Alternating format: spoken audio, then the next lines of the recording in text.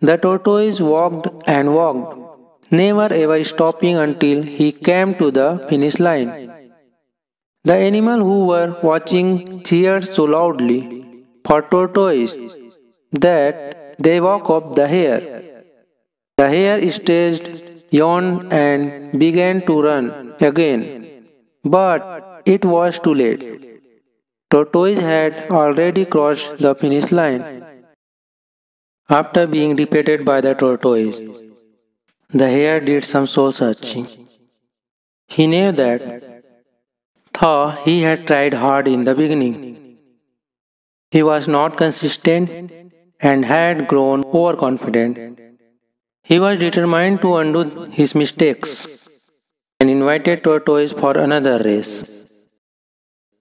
This time, the rabbit was careful to run the whole distance and, of course, emerged the winner.